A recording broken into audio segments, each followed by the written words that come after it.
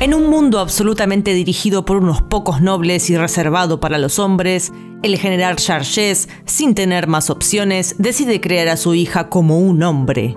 Va, como un hombre del siglo XVIII, o sea, libremente para que pueda ejercer un puesto en la Guardia Francesa y así seguir manteniendo el linaje de su familia. Les damos la bienvenida a una nueva serie en el canal, quizás la más pedida, donde veremos las desigualdades sociales, de género, la corte francesa y sus privilegios, así como el camino hacia la revolución del pueblo, en medio de conspiraciones, duelos intensos y momentos perturbadores.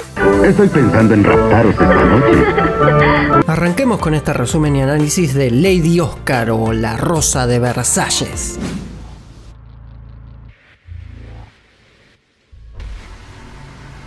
La serie empieza con la familia Charges esperando el nacimiento de un nuevo hijo que pueda pelear en batalla y proteger a Francia. La cuestión es que le sale una nena, pero al señor Charges mucho no le importa. Debe ser una broma. Señor, mírela, es una princesa muy hermosa. Ah, no habrá lugar para una mujer en una familia cuya misión es proteger a la realeza. ¿Qué, qué piensa hacer con ella? Ya está decidido. Tendrás que ser hombre. Tampoco le importa mucho su esposa, qué sé yo. La locutora nos spoilea que en los próximos 20 años se viene la revolución. En contraste con la miseria del pueblo, se ofrecen fiestas muy lujosas en el Palacio de Versalles. El reino celebra bailes mientras las cosas se ponen feas para el pueblo que representa cerca del 97% de la población. Nadie imaginaba que la revolución habría de estallar en los próximos 20 años. La cosa es que el señor Charges, general del ejército, cría a Oscar como un hombre porque necesita que alguien se encargue del puesto de protector del reino y básicamente derechos y mujeres no son palabras muy compatibles para la época. Más tarde la vemos practicando con André, el nieto de la nana, criada de la familia. André no tiene sangre noble, pero como se crió con Oscar, incluso tienen la misma edad y se vuelven grandes amigos. Es quien acompaña a Oscar fielmente durante toda la historia. Pasan los años y Oscar tiene que vencer a otro noble, Víctor Girodel, para poder convertirse en la protectora de la futura reina. Mientras tanto, nos cuentan de manera demasiado calmada el pasado armamentista de Francia y Austria. En el siglo XVIII se desataron varias guerras en Europa que por ser poderosos militarmente se empeñaban en pelear en todo momento. Y cómo firman la paz comprometiendo a los príncipes Luis, nieto de Luis XV, rey de Francia, y a María Antonieta, hija de María Teresa, gobernante en Austria. Pero Oscar, a todo esto, Lo siento, padre, yo no deseo proteger a una mujer. ¿Qué? y al parecer el general Charges tiene familia en Córdoba. ¡Me obedecerás! ¡Porque soy tu padre! No me entendés, carajo, no me entendés. Soy tu padre, prestame atención a mí. En el anime el padre de Oscar es mucho más violento. El duelo será mañana. De lo contrario, puedes atenerte a las consecuencias. Girodelli y prácticamente todos los personajes se van a obsesionar con que Oscar es mujer. Incluso Oscar antes de celebrar el duelo le dice... Debo informarle que no me interesa ser comandante de la guardia. Escuche, no me estoy negando porque tenga miedo de perder. ¿Quiere demostrármelo ahora? No quisiera ponerlo en vergüenza frente a todos los invitados.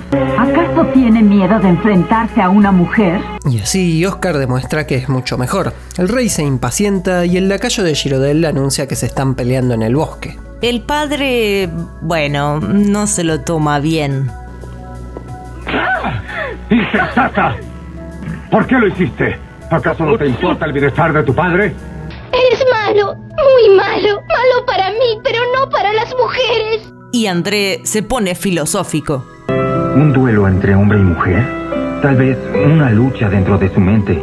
Oscar reafirma que no protegerá a una mujer. Maldita sea. Lo detesto, no lo soporto.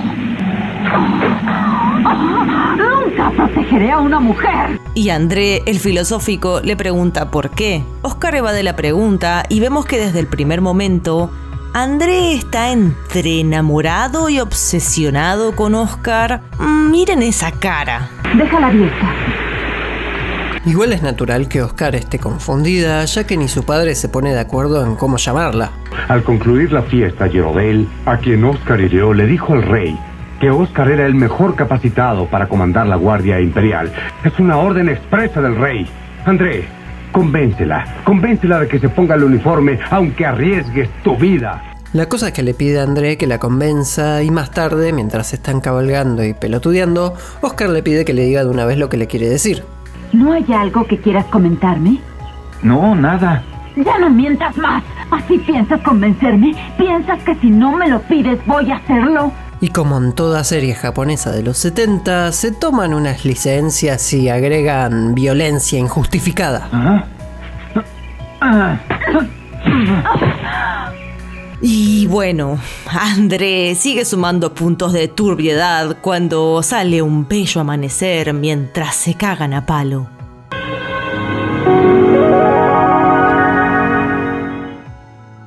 Así. Sigue golpeándome. Hazlo. Tan fuerte como puedas. Y después de romperse la cara, le toma la mano. ¿Qué le pasa a André?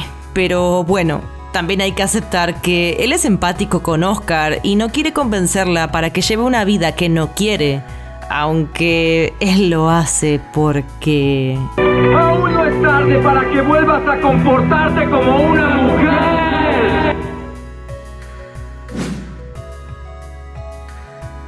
Pero la cuestión es que Oscar decide ponerse el traje y ser protectora del reino. Tiene su primera misión para proteger a María Antonieta, que será trasladada por el río Rin que pasa por ambos países. Como la historia lo indica, María Antonieta es obligada a casarse con el príncipe Luis Augusto para asentar una alianza entre Austria y Francia. Nos muestran un flashback de ella como una niña juguetona y alegre, además de mostrarnos a la reina Teresa, archiduquesa de Austria, un poco angustiada porque algo se intuye que saldrá mal. Sin embargo, como es lo mejor para el reino, entrega a María Antonieta a la corona francesa. Desgraciado. Pórtale, reina. Mira, madre.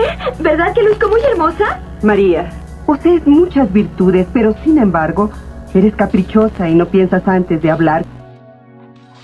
En el manga, María no se quiere ir y hace un planteo diciendo que le gustaría elegir con quién casarse, de quién enamorarse, pero terminan convenciéndola de que es lo mejor para ambos países. Oscar está atenta a que pueda pasar algo y hay miradas sospechosas en la gente. Todo está dispuesto, príncipe de Orleans. Saben que no deben pronunciar mi nombre. Técnicamente no dijo su nombre, pero bueno. La cuestión es que ya muy temprano aparece el príncipe de Orleans, o Felipe I de Orleans. Él, aunque no es hijo directo del rey, tiene sangre de la realeza y quiere ocupar el trono. Además, él tiene muchísimo poder, ya está casado y siente que tiene toda la experiencia y méritos para poder merecer la corona. El problema es que Luis Augusto, aunque es muy chico e inexperto para ser rey, es el heredero más directo, por lo que el duque de Orleans constantemente está tratando de impedir el casamiento entre Luis Augusto y María Antonieta. Este personaje además es muy importante en la historia de la Revolución Francesa y sutilmente nos muestran su maldad. Nos muestran el despojo, la entrega de la reina de forma inhumana. Ella tiene que ir a Francia totalmente renovada, sin sus ropas y sin nada austríaco. Pero lo que más me llama la atención es que los traductores flashean español-castellano de la Edad Media para representar a los nobles franceses. Deberéis vestiros con ropajes hechos en Francia. ¿Debo renunciar a todo? Sí. El tema es que María no se acostumbra tan fácil al idioma, algo de lo que hacen hincapié en el manga y no en el anime. Ella dilata la trama y como nos cuenta Girodel, Ha decidido que no quiere casarse. Así son las mujeres. Oscar se da cuenta del plan de cambiar a María por otra persona. Ella, juguetona, se escapa por el bosque y es emboscada por los hombres del príncipe de Orleans. Oscar la rescata y María queda impactada por su habilidad. Oscar! Reparte leña a diestra y siniestra y la rescata. Ve al príncipe de Orleans, pero se escapa. Están por coronar a la princesa falsa, pero Oscar les lleva a la verdadera y la gente reacciona. ¡Aguardad, majestad! No es la princesa María Antonieta.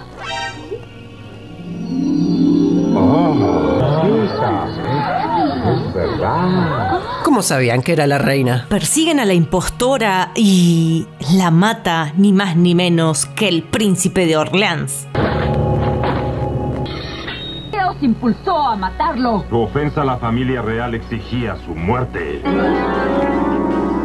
El rey le presenta a su nieto, el heredero de la corona, y María no parece muy feliz.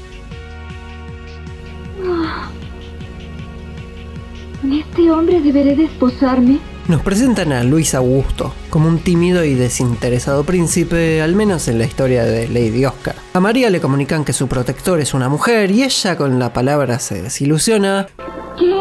¿Es una mujer? ¡Ah, qué desilusión! pero su cara no dice lo mismo.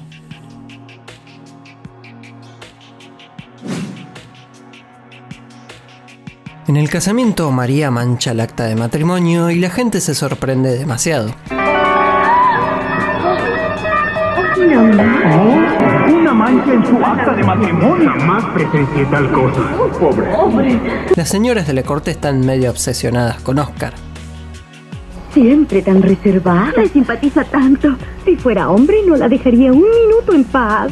Pero acá lo importante es cuando Noaí, Noalé o Noyu, a quien no presentan porque, bueno, tiene un nombre muy raro y que irá variando conforme pase la serie, pero que es la asistente personal de María. Le dice que es la más importante y si no le dirige la palabra a alguien en la corte, esa persona no puede hablar. Todos los miembros de la corte ansían que yo les dirija la palabra. Soy una dama muy importante. María queda fascinada con esa idea. La hace sentir súper mega poderosa. Si ella no habla primero, la persona nunca le puede dirigir la palabra. Esto, sumado a la sorpresa de la corte cuando asiste a su primera aparición en Versalles, hace que María se le suba el ego y se proclama reina de Versalles. ¡Qué emoción! Seré la reina del Palacio de Versalles, de Francia y de Europa. La importancia de este baile viene cuando se ve por primera vez con Madame du Barry.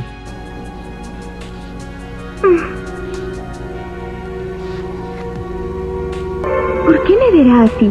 Demuestra una enorme falta de cultura. Oscar le informa quién es y a María no le gusta demasiado. Pero se comporta como si fuera la reina. No entiendo por qué la halagan en esa forma.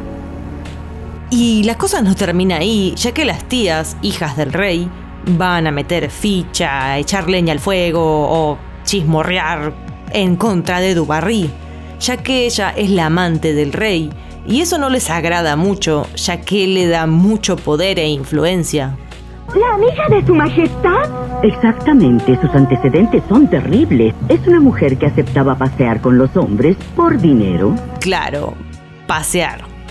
Y María hace una declaración polémica hablando de las mujeres que pasean con hombres. A ese tipo de mujeres mi madre las azotaba y las enviaba a un reformatorio. Mira María, no me hagas hablar de tu madre. Si vamos al caso, te vendió al rey. Por lo menos Dubarry está con el rey por su propia decisión. Ha nombrado a ministros que carecen de experiencia. Vive rodeada de lujos y frivolidades. Qué loco, ¿no? Me imagino que María no hará ninguna de esas cosas. Las tías siguen creando una imagen horrible de la condesa e incentivando el odio de María. Eso le permite comportarse como si fuera la reina. Supongo que eso no le agrada a su alteza. Dubarry, por su parte, no se toma bien que no le hayan dirigido la palabra.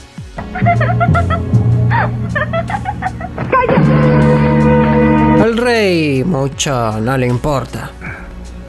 Ay, dime, ¿qué te ha parecido la presentación de María Antonieta? En un momento, Oscar rechaza una invitación de María y André le pregunta por qué, ya que puede asegurarse un futuro, por lo que Oscar empieza a tener pensamientos adelantados a la revolución.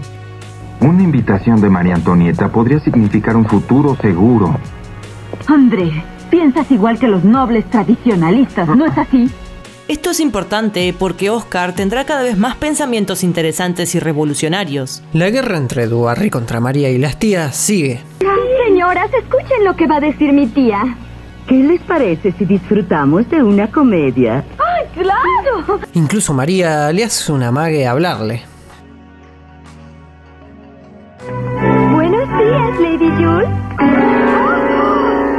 Buenos días, Lady Jules. André le pregunta a Oscar a quién va a apoyar, dado que las damas de la corte e incluso los nobles están interesados por esta guerra. Oscar, ¿tú a quién piensas apoyar? Las damas de la corte han hecho diversas apuestas. No apoyaré a ninguna. Ya veremos quién resulta triunfadora en la batalla de las damas. Pero Dubarry quiere tener a Oscar de su lado y ganarse su confianza, por lo que establece una alianza junto con el duque de Orleans en contra de María Antonieta. Ambos quieren seguir teniendo poder y ninguno es beneficiado si María Antonieta y Luis Augusto terminan en el trono, por lo que juntos idean un plan. Ellos nombran a la madre de Oscar como dama de compañía de Dubarry para que parezca que tiene su apoyo. ¿Qué? ¿Mi madre va a convertirse en dama de compañía de Madame Dubarry? Y María Antonieta, que tiene más poder, piensa en cómo responder a ese desafío. Ya lo entendí perfectamente.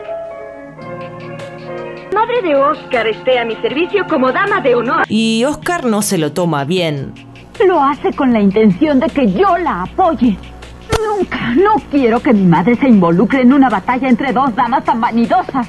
No hay ninguna razón para que te preocupes por mí. Puedes elegir el partido que más te convenga. Más tarde, mientras practica con André, la hace recapacitar un poco. Admítela. Después decide qué camino tomar sin que por ello angusties a tu madre.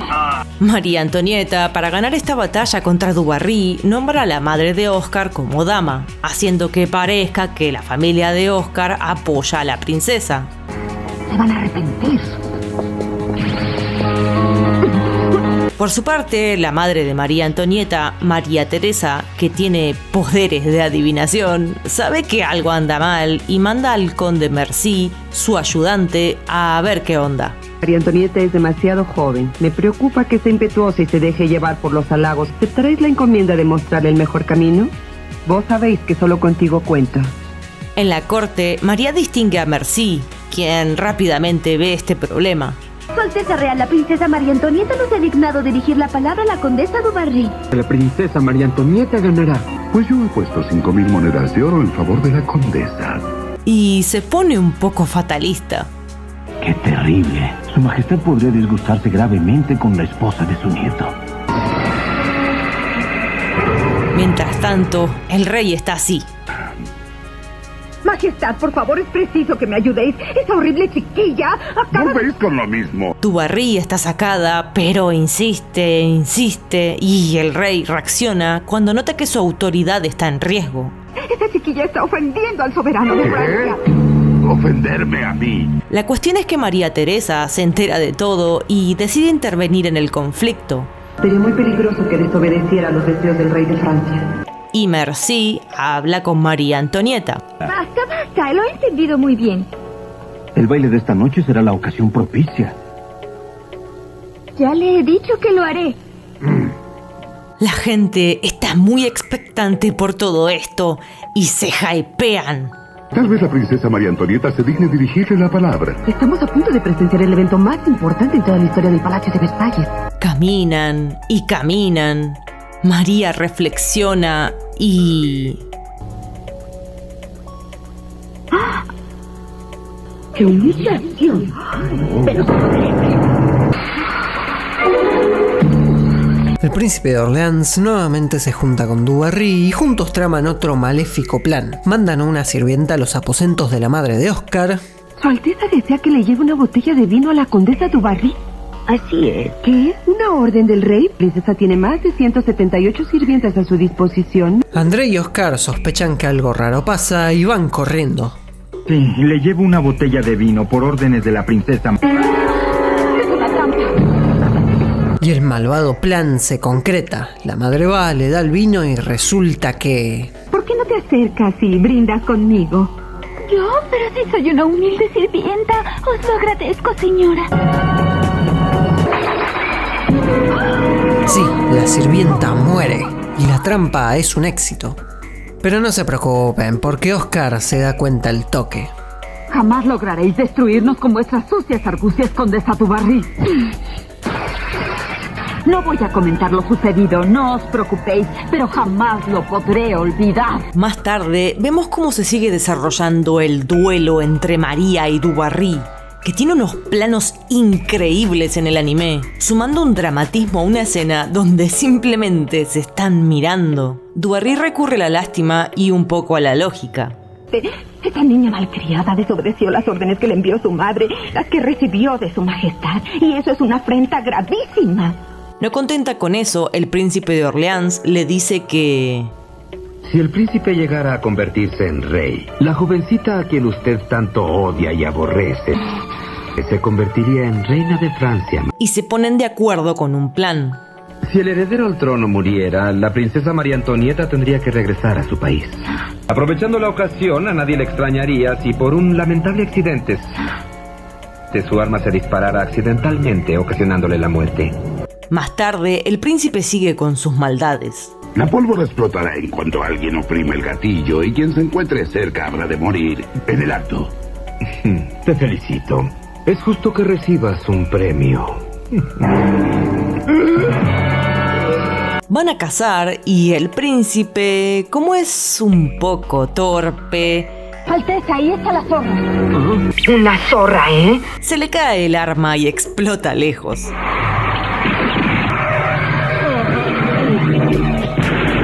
El rey cita a Marcy para decirle que haga entrar en razón a María y le hable de una buena vez a Dubarry. Y él le hace caso aunque no es un buen actor. Madame Dubarry, vuestra gentileza y bondad me han conmovido. Marcy le cuenta a María su charla con el rey, pero ella solo le importa lo que opine Oscar. Oscar, ¿tú qué piensas al respecto? Estoy de acuerdo con la opinión del conde Mercy. La alianza que ha permitido que haya paz y tranquilidad entre Francia y Austria se vendría abajo. Y María se hace rogar. Nuevamente están cara a cara, pero la tía de Laida Esperad, Alteza Real. Lady Adelaida, la tía del príncipe. ¡Adelaida! ¡Adelaida! se la lleva de prepo. Dubarry se enoja muchísimo en una escena digna de ver. Pasan unos días y María quiere hacerle caso a su madre. Y nuevamente la gente se pone expectante. ¡Feliz Año Nuevo! ¿Cuántas personas se han reunido en Versalles? Dubarry gana y no puede ocultar su maléfica felicidad.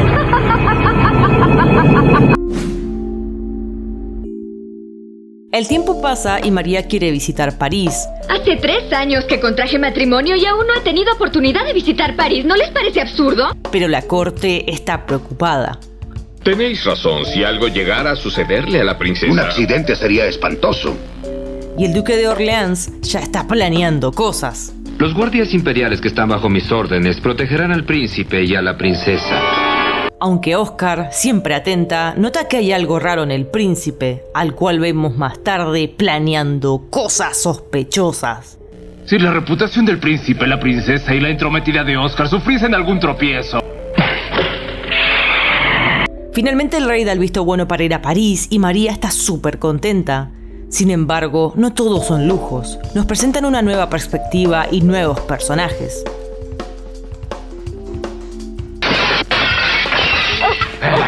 ¡Ladrón! ¡Ladrón, rápido! ¡Alguien deténgalo!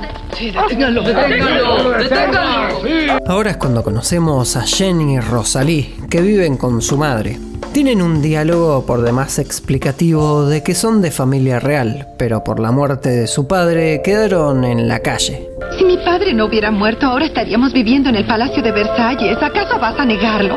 Lo que dices es una locura. Jen tiene un soliloquio intenso de su situación y... Ropas desgarradas, zapatos rotos, viviendo en una casa que parece un basurero. Nuestras familias son muy ricas y la tuya es pobre. Ah, en una ciudad repleta de mendigos y gente sucia. Esto es insoportable. Mamá. La madre le dice que se ponga a laburar, de lo que sea, y nos muestran la dinámica de esta familia con Rosalie conteniendo y ayudando a su madre y Jen o Jenny más preocupada en los lujos que no tuvo que en otra cosa. Y acá vemos un sospechoso y llamativo favoritismo por Rosalie. También nos presentan al sospechoso y malvado conde Germain. Él es cercano al duque de Orleans y también hace cosas malas. Tened misericordia de esta pobre huérfana descendiente de la casa de Valo. ¡Apártate de mí! Los príncipes realizan su primer recorrido en París y todos están expectantes. Girodel, Oscar y en especial André descubren el plan de Germain y Oscar deshace los planes en una persecución llena de acción donde pelean y pelean y Oscar gana, pero...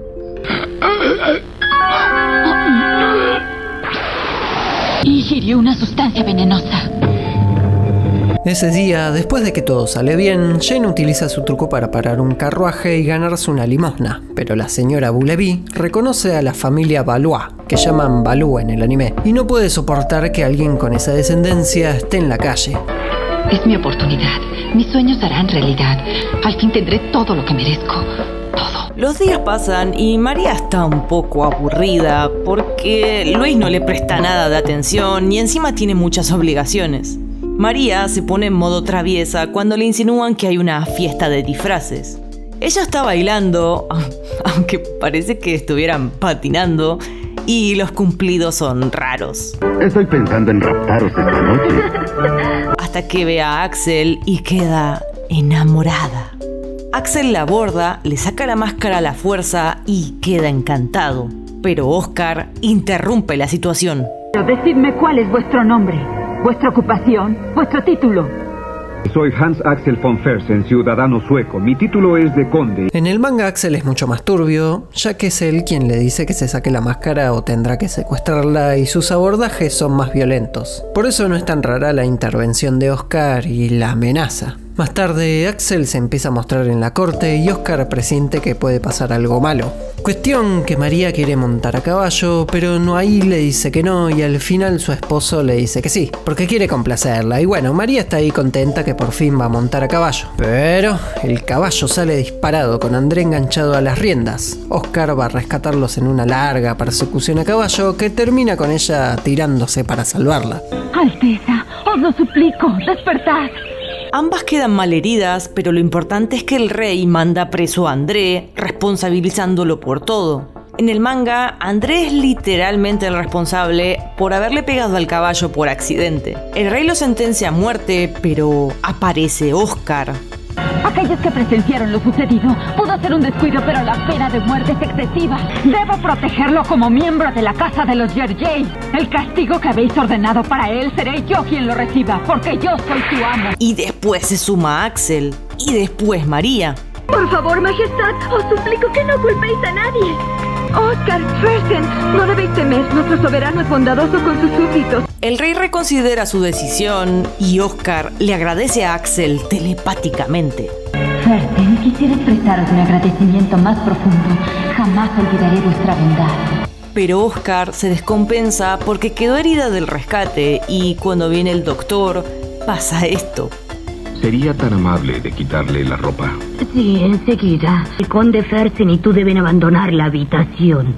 Sí, enseguida. No es un delito mostrarse desnudo frente a los amigos. Parece ser que a Axel no le había quedado claro que Oscar es mujer y el diálogo entre André y Axel es todavía más extraño. Es mujer, nunca lo hubiera imaginado. No, Oscar es un hombre, debéis creerlo. Fue educado como un hombre y como tal ha vivido y así vivirá. Y Axel sigue con sus pensamientos raros. Tienes una figura muy delicada, pero qué gran persona. Oscar se recupera después de un drama largo y le hace un chistecito a André. Es el único que ha podido escapar a la pena de muerte después de haber causado daño a un miembro de la familia real.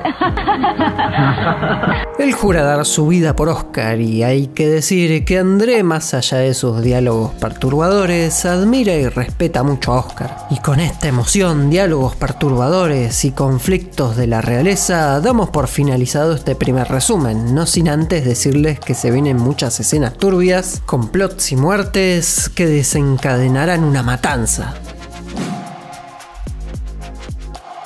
Lady Oscar es una serie revolucionaria, más teniendo en cuenta que salió en los 70, ya que pone el foco en los acontecimientos de la corte francesa en las mujeres. El duelo de María y Dubarry es intenso e interesante, pudiendo tener repercusiones fatales.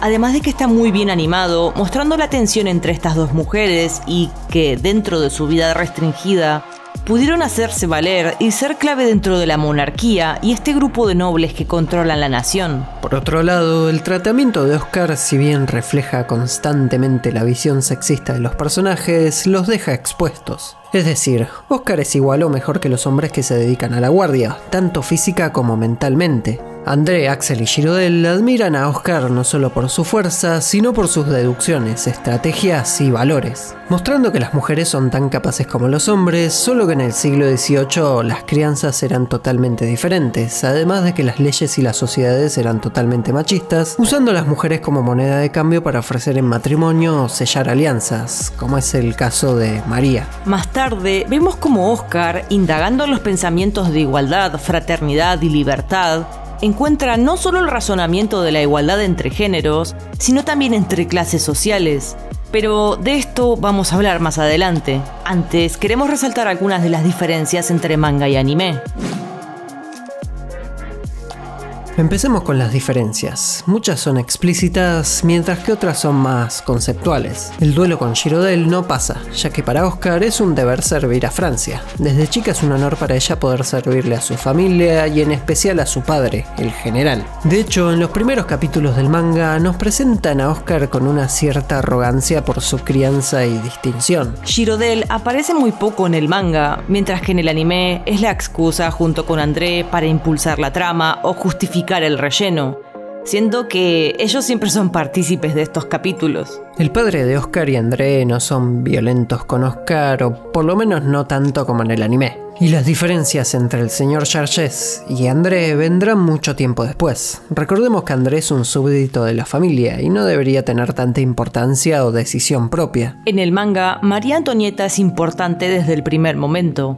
De hecho, los primeros capítulos están totalmente enfocados a ella, contándonos su infancia y sus pensamientos más profundos, además de su relación con todos los personajes, aunque en comparación se cuenta prácticamente la misma historia. Pero una de las diferencias más significativas del anime es la presencia del príncipe de Orleans. Ya desde el principio el duque tiene una incidencia en la trama y en las distintas decisiones de Dubarry, cuando en el manga prácticamente no aparece, solo se nombra mucho más tarde como parte de un complot contra el rey. La nana, entre manga y anime, tiene alturas muy diferentes. En el manga por un tiempo el rey Luis XV se enoja directamente con María Antonieta por el tema de Dubarry y disuelve la alianza por no hacerle caso, pero no dura mucho tiempo este enojo.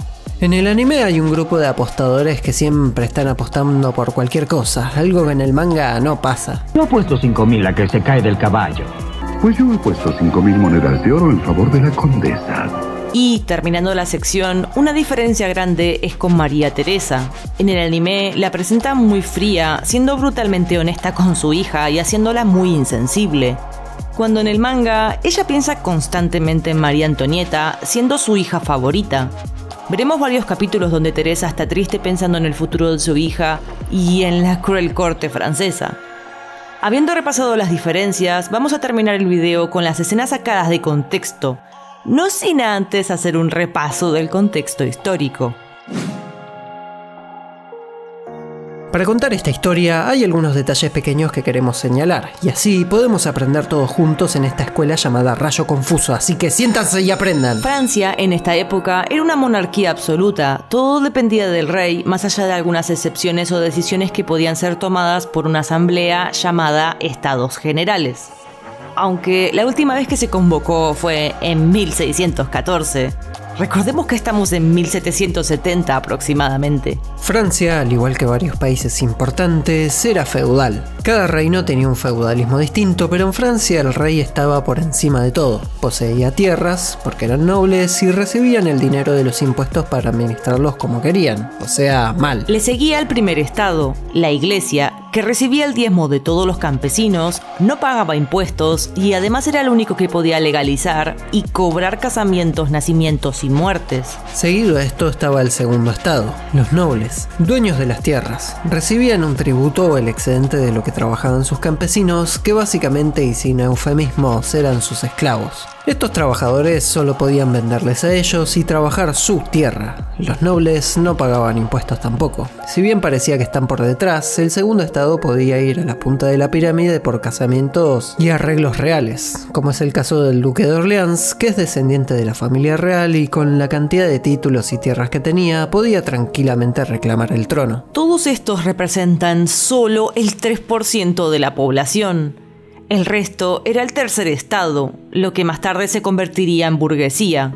es decir, profesionales, banqueros, médicos y además artesanos y campesinos, o en palabras quizás más crudas, esclavos de nobles. Este 97% pagaba impuestos y no tenía protecciones ni ayudas del Estado, ni decisión política. Por otra parte, queríamos aclarar que María Teresa, madre de María Antonieta, es soberana de Austria, Hungría, Bohemia y Croacia, además de la primera y única mujer que gobernó Habsburgo, así como emperatriz consorte del Sacro Imperio Romano Germánico. Básicamente una mujer con una cantidad enorme de títulos, que utilizó para dedicarse a la política y tomar decisiones súper importantes para su reino. Sus hijos tendrían la responsabilidad de hacer valer todos esos títulos, gobernando o casándose en arreglos convenientes para su imperio, como el caso de María Antonieta. En el que los imperios de Francia y Austria se aprovecharon, ya que quieren dejar de pelear por el poder de Europa y buscar una forma pacífica de seguir aunque en realidad es porque pelearse no beneficia a ninguno, ya que Gran Bretaña, si bien había perdido mucho territorio en la Guerra de los 100 años contra Francia y la independencia de Estados Unidos, es Francia quien está con las deudas por los nuevos territorios y por el apoyo a su aliado estadounidense. Es por eso que tanto en el anime como en el manga la gente se percibe como optimista, pero están súper endeudados. Además de que la corte seguía derrochando y no buscando soluciones políticas reales, ya que seguía siendo una monarquía absoluta. Al contrario de Gran Bretaña, que tenía una monarquía parlamentaria y se vería beneficiada por la revolución industrial y el crecimiento de la burguesía, algo casi imposible en Francia ya que el poder está demasiado concentrado en los nobles y en el clero. Fin de las clases, pueden irse. Y ahora sí, los dejamos con las escenas sacadas de contexto. Estamos súper contentos porque estamos por llegar a los 100.000 suscriptores. De verdad, gracias a todos los que se suscribieron, les dan a like, comparten y comentan siempre. Cállate, Andrés. Muchas gracias por su apoyo. Hasta el próximo video. ¿Este hombre deberé desposarme? A ese tipo de mujeres mi madre las azotaba y las enviaba a un reformatorio. Así. Sigue golpeándome. Hazlo. Tan fuerte como puedas. ¿Vos sois la princesa María Antonieta? ¿Quién sois vos? ¡Me obedecerás! ¡Porque soy tu padre! ¿Ah? Ah. Estoy pensando en raptaros esta noche.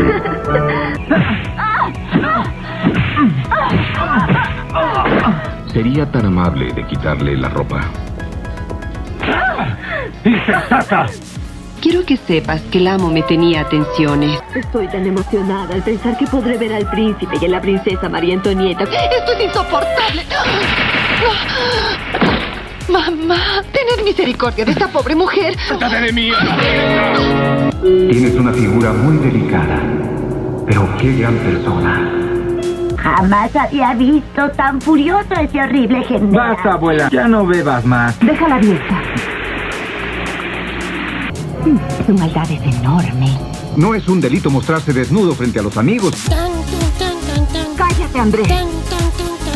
Mamá. Sería tan amable de quitarle la ropa. ¡Me obedecerás! ¡Porque soy tu padre! No es un delito mostrarse desnudo frente a los amigos.